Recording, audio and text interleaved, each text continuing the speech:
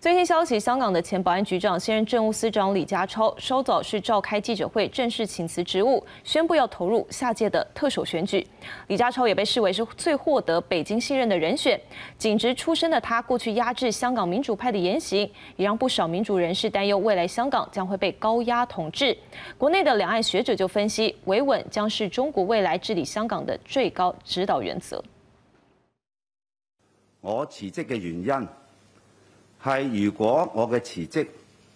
獲得中央人民政府批准，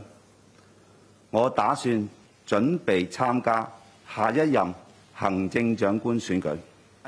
李家超请辞，香港政务司长将投入第六届香港特首选举。根据香港媒体报道，有消息指出，香港中联办表示李家超是唯一支持人选，呼吁选委支持，这代表李家超有可能是下届香港特首选举唯一候选人。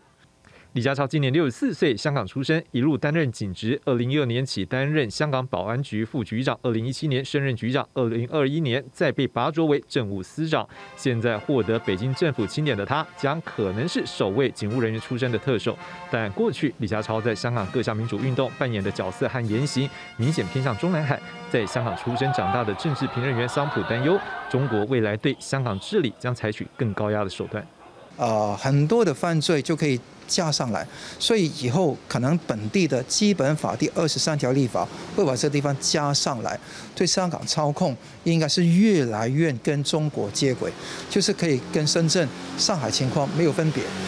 也有学者认为，李家超的出现显示中国共产党下半年即将举行第二十次全国代表大会，寻求继续执政的习近平不希望香港出现任何状况，基本上还是稳定的，稳定。好，爱国哈，那么服从这个北京方面的这个指示来办事，好，不要让香港这个出现这个乱子，啊，就大陆的这个角度来看，好，那我觉得这一点的话，那么你这个李家超他应该是比较蛮适合的。